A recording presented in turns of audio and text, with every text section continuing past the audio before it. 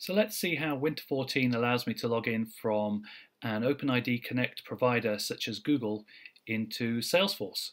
So here I am at um, a Salesforce login page. Um, this has been branded, so that's another Winter 14 feature. Um, i have come to a unique um, a URL for this page, so Salesforce has uh, activated the branding that's been configured, and straight away I can see I can log in with Google. So let's go ahead and give it a try.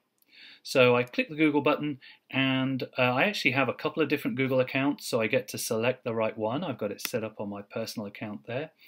And uh, we're into um, a flow that's very like OAuth. Okay, OpenID Connect is built on OAuth. I'm getting this authorization screen saying that um, uh, Google Blitz 04 wants to know who I am on uh, Google Plus, and uh, that's fine by me. I'm going to accept that. And then uh, what should happen is a little flicker in the URL bar there, and I'm straight into Salesforce. And uh, I've defaulted here to this app launcher page, and I can go on to uh, say Chatter or Workday, Concur, um, I can leverage Salesforce to go on in turn to other service providers. So let's peel back the covers and see what's actually going on here. So I have an authentication provider configured. Now you might remember authentication providers from previous releases. They allowed you to do similar things with um, Facebook and Janrain, other Salesforce orgs. This is a new type of uh, Auth Provider, uh, which is a more general purpose implementation. It's an OpenID Connect Auth Provider. Okay, so we've called this one Google, and we've put in the uh, configuration here to allow, allow it to work with Google.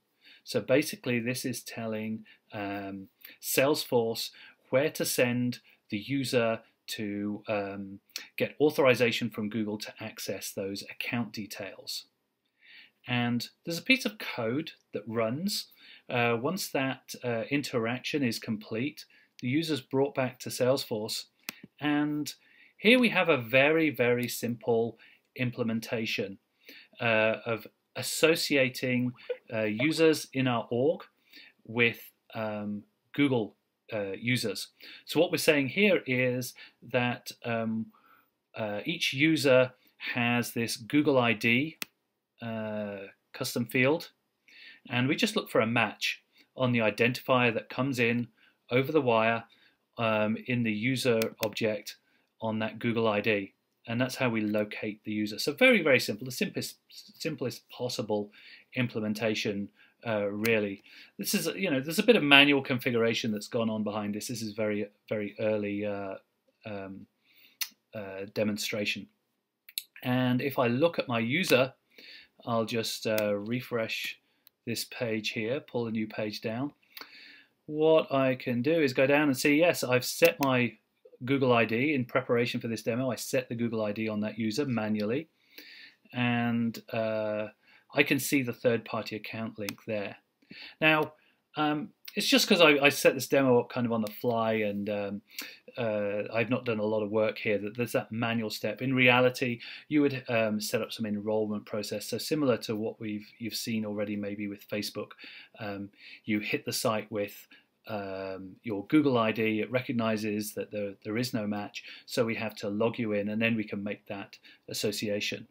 And if you're wondering where that Google ID actually comes from, you know, if you've got a Google account, you might say, wow, I've never seen this, what is it, 24 character ID? That's crazy. Um, if you go to your Google Plus page, that's basically the number that appears in your profile. So that's that's how I pasted it in there.